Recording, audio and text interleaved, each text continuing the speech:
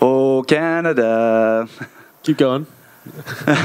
oh, Canada. Yeah. Singing I got- needs a little bit of work, but uh, you're a fighter anyways, and you, you got it done tonight, Marc Andre. This is a guy you called out, you got the fight, and, and you got the win. Just uh, how how excited are you to you know look back on this fight that you wanted and you came through? Uh, I'm so happy. I'm so proud of myself. Uh, like you said, I've been asking for this guy for a long time. Uh, I think that tonight I proved that you know I can be, you know, a, a smarter fighter. Uh, I can be better everywhere. And like my, my coach just said, just trust yourself, trust all your tools, all your instinct. And yeah, tonight I prove a lot, and I cannot complain. Looked like his nose was broken early in the fight. Did you recognize that and sort of think like, okay, like I can really take this over? Uh, I was surprised that I dropped him so quick, uh, but I feel like I earned his respect right away. Uh, that's why he tried maybe to wrestle me uh, more. But yeah, he was strong. Uh, uh, I just told myself, stay composed, don't do nothing stupid. Try to, to keep keep the, the center of the cage and just be smart. Pick your shot, pick him apart, and do the work. Uh, I know you had a rough start to your UFC career. Now, I think looking back, if my math's correct here, I think five and two with the no contest since then. Uh, what do you attribute that to? I know there was the switch to Kill Cliff. Um, wh- why do you feel like things have really been clicking for you lately?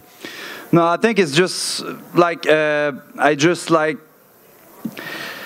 I, I, I did a um, you know a lot of sacrifices. Uh, it's not all about the, the change the, the, the, the, the way I change the gym or whatever. Uh, just I surround myself with good people, uh, great people. I have um, you know a, a supportive wife, uh, my team, uh, just the way I carry myself every day. Um, you know, I feel like I'm a, I'm a better human being every day. So yeah, I feel like I'm just getting started. Uh, even if I'm more, you know, I'm older right now, I feel like I'm more mature and I'm in right on my peak. So yeah, And last one for me, just how much were you feeding off the crowd tonight? Uh, they were really into it, and were you think keeping in mind too? Hey, no Canadians have lost tonight. I got to keep this going.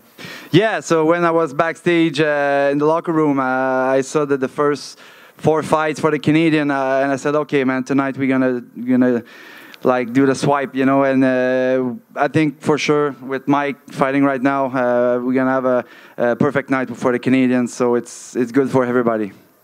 Uh, speaking of Canadians, were you aware that uh, French Canadian royalty Georges St-Pierre was cage side watching your fight? Really? No, no, didn't know at all. Nice.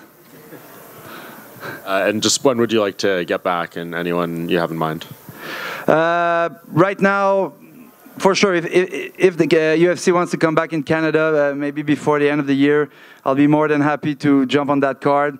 Uh, right now, I feel like I had a very, you like, my last two fights, like, March, now June. Uh, just I want to have some good time just to again getting better, evolve.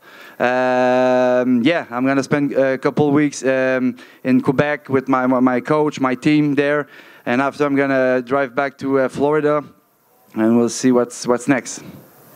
So you're going to drive back?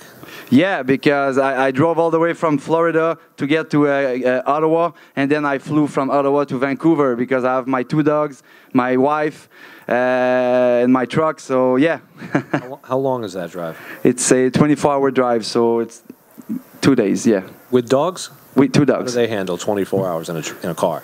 Uh, they're good dogs. Yeah, very good dogs. Marc right here. Yeah. Congrats on the win. Um, a lot of clinching in that. Were you comfortable kind of living in that clinch?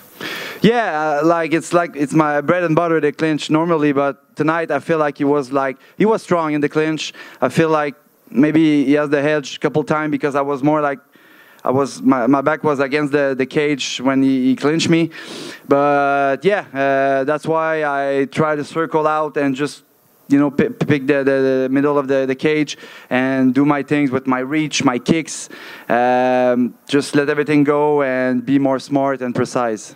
And last one for me. I believe you used to work as a cook. What's your go-to dish if you have to impress someone? Oh, that's a good one. Uh, uh, I really like to cook some seafood uh, because where I've, I'm, uh, my dad from is more like uh, a a lot of seafoods, uh, lobster, uh, shrimps, everything. So I'm, I'm, yeah, I like shrimps. I'm in. yeah, yeah. Right here, Marc. Yeah. Um, so I see you're landing the right kick to the body, followed by the right hand. Uh, is that something you're trying to implement into your game plan tonight? Yeah. Shout out to my coach, uh, Pa- Patrick Marcel. We've been uh, talking to the, this setup all week long. Uh, he told me, trust, trust your kicks, Marc. You have very good kick on the pad, on the sparring, and especially against the southpaw tonight. It was the perfect, like, it was the perfect body type to, to kick him, uh, especially with his guard.